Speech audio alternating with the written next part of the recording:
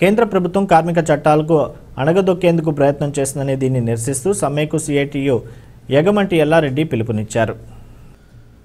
బోయినపల్లి మండలంలో హమాలి భవన నిర్మాణ కార్మిక సంఘ సభ్యులతో కలిసి దేశవ్యాప్త సమ్మె పోస్టర్ను ఆవిష్కరించారు. ఈ సందర్భంగా ఎల్లారెడ్డి మాట్లాడుతూ కేంద్ర ప్రభుత్వం కార్మిక చట్టాలను తీసివేసి కార్మికులను అణగదొక్కాలని చూస్తుందని దీనికి నిరసనగా అన్ని కార్మిక సంఘాలు ఈ నెల ఇరవై ఆరున దేశవ్యాప్త సమ్మెకు పిలుపునిచ్చాయని ఈ సమ్మెను బోయినపల్లి మండలంలో విజయవంతం చేయాలని కోరారు.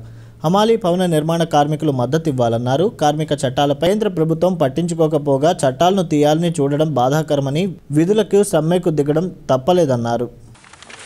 భవన నిర్మాణ కార్మికులతోని సార్వత్రిక దేశవ్యాప్త సార్వత్రిక సమ్మె పోస్టర్ పోస్టర్ ఆవిష్కరణ చేయడం జరిగింది.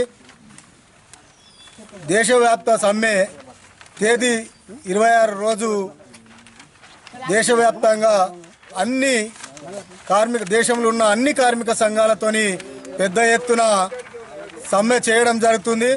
అందులో భాగంగా ఈరోజు బోయినపల్లి మండలంలో పోస్టర్ ఆవిష్కరణ చేయడం జరిగింది. ఇక్కడున్న భవన నిర్మాణ కార్మికులు మండలంలో ఉన్న భవన నిర్మాణ కార్మికులు అట్లాగే అమాలి కార్మికులు ఆశా అంగన్వాడీ టోటల్ రైతాంగం కూడా ఈ సమ్మెలో పాల్గొని విజయవంతం చేయాలని సిఐటియు జిల్లా కమిటీ తరఫున కోరడం జరుగుతుంది వెల్ఫేర్ బోర్డు అనేది ఏర్పడ్డది. ఆ బోర్డును కూడా ఈ కార్మికులకు అందకుండా ఈ బోర్డును ఎత్తేయాలి. ఇందులో ఉన్న చిన్న చిన్న చిన్న చిన్న స్కీములు ఇట్లా పెండ్రీలైనా డెలివరీలు అయినా ఇట్లా నార్మల్ డెత్ కానీ యాక్సిడెంటల్ డెత్ కానీ ఇచ్చే స్కీములను తీసేసి ఈ హక్కులను కాలరాసే ప్రయత్నం చేస్తుంది బీజేపీ ప్రభుత్వము. కాబట్టి వెంటనే ఈ ప్రభుత్వం అనుసరిస్తున్న విధానాలు నశించాలి.